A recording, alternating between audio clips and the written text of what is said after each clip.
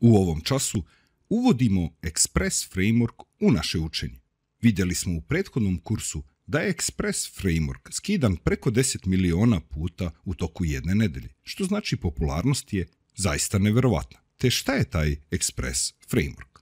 Express je minimalni wrapper oko HTTP modula, što znači pomaže nam oko rada pri kreiranju servera. Glavni svoj fokus su putanje ili popularno routes. Pošto mi moramo da odgovorimo na svaki zahtjev klijenta, Express.js bit će tu da nam pomogne u tome. Na kraju svega, on je zaista minimalni framework, međutim predstavljanjem middleware koncepta možemo proširiti ovaj framework tako da nama potpuno odgovara. Ajmo da pređemo u Visual Studio Code i naučimo kako da se koristimo Express frameworkom. Ja sam otvorio Visual Studio Code, imam Node Express čas i da napravimo novi file, ajmo da kažemo server.js. I ajmo da otvorimo terminal i da kažemo npm init crtica y i pogledajte, pre nego što nastavimo, pogledajte kako je moj main file zapravo server.js, zato što smo prvo kreirali file kad smo radili npm init, sada u mom package.jsonu piše da je moj inicijalni file server.js. No dobro, to sada nije bitno, ugasit ću package.json. Ono što je bitno jeste da se vratim u terminal, kazat ću clear screen, i kazat ću npm install express. Kazat ću dash dash save, da se sve to sačuva u package.jsonu i pritisnut ću enter.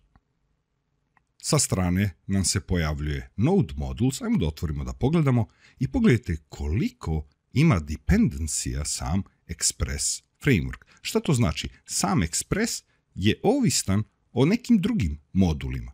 Te zapravo ovdje ima mnogo fajlova i foldera, ali to nas ništa ne interesuje. Ono što nas interesuje jeste da napravimo server. Te ajmo da kažemo const express je jednako require express.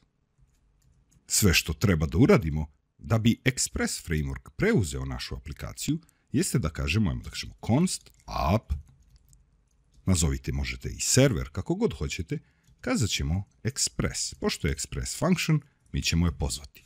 Sada u ovoj našoj instanci app se nalazi naš server koji možemo da kontrolišemo.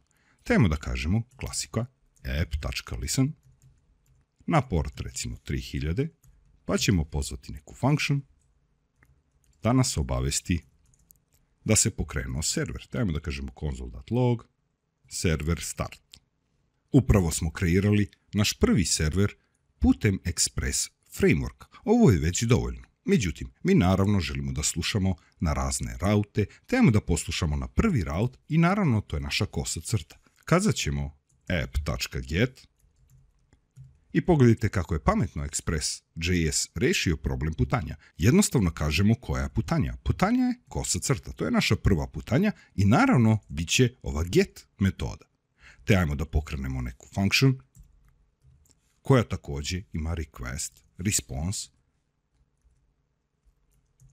i unutar ove function mi ćemo dati neki response. Međutim, za sekundu da zastanemo, da vidimo da li ima razlike sada između ovog requesta i ovog responsa u odnosu na request i response koji smo imali kada smo koristili HTTP modul.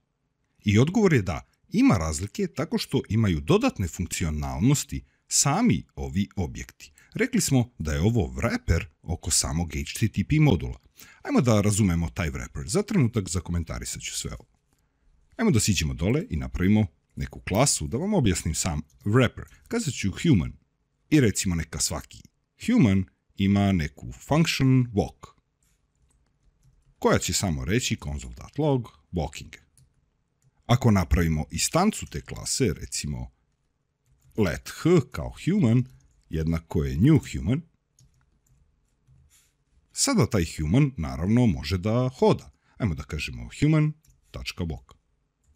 Sačuvat ću ovo i ako u terminalu kažemo node server, vidimo walking kao odgovor. Međutim, ajmo da zamislimo da je ovo neka built-in klasa u samom JavaScriptu. Ja kao programer mogu da proširim, mogu da vrepujem, obmotam svoj neki kod oko ove klase.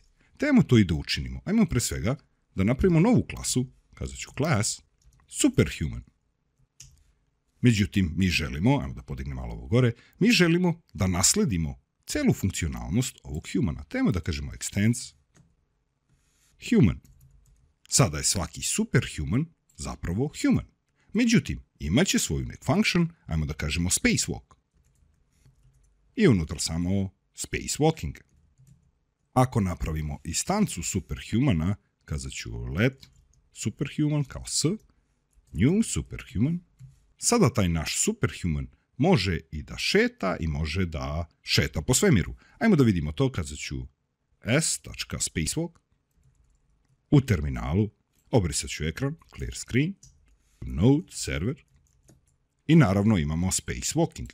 Međutim, također, taj naš superhuman može i da šeta. Trebamo da kažemo samo walk, vratit ću se dole, node, server i imamo walking. Šta sam ja ovdje uradio? Napravio sam wrapper oko neke klase human, dodao sam funkcionalnost na samu ovu klasu. Tako nekako želim da shvatite, ja ću obrisati ovo. Šta je Express.js? Wrapper oko HTTP modula. Nadam se da je sad malo jasnije.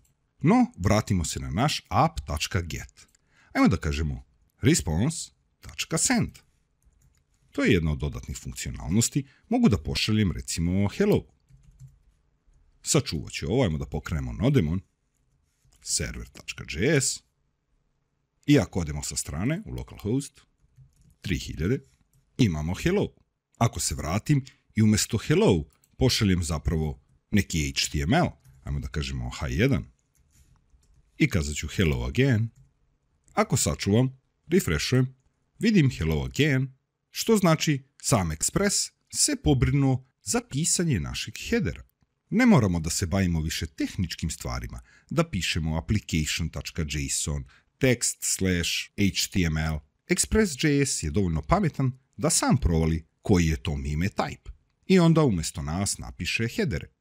Dobro, ajmo da probamo da li to funkcioniše ako napravimo recimo data, da je jednako, ajmo da napravimo name Danilo i napravit ćemo još jedan, kazat ćemo name Ivan, ako pošaljemo u send, ako pošaljemo naš data, save, refresh, u našem brauzeru dobijamo potpuno validan JSON. Pogledajte ove navodnike, potpuno validan JSON.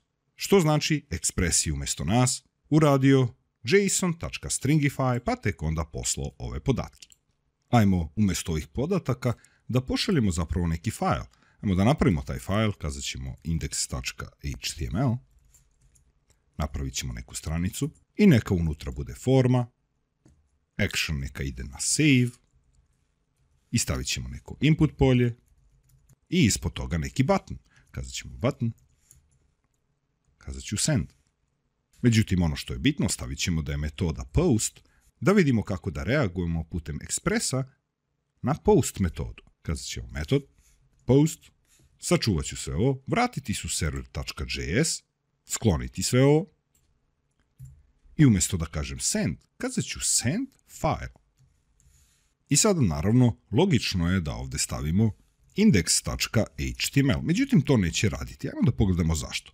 Sačuvat ću ovo, refresh, i pogledajte, imamo grešku. Kaže path must be absolute. Šta to znači? Znači da je ovo relativna putanja u odnosu gdje se trenutno nalazimo. Međutim, Express nam to ne dozvoljava, traži apsolutnu putanju. Međutim, to se zaista lako rešava.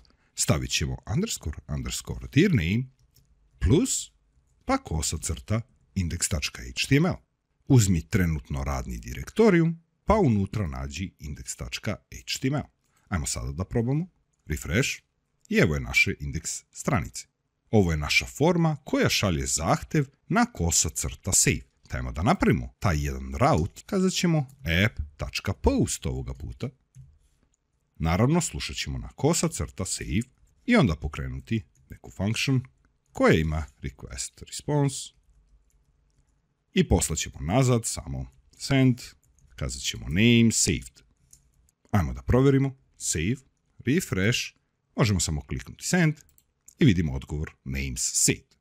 Sve je ovo sjajno, Međutim, ako se vratimo u sam index.html i ako linkujemo neki CSS file, kazat ću main.css. I ako napravimo taj file, kazat ću main.css, ajmo da kažemo body, background color neka bude tomato. Ako se vratimo i pogledamo našu indeks stranicu, vidimo da nema tomato boje.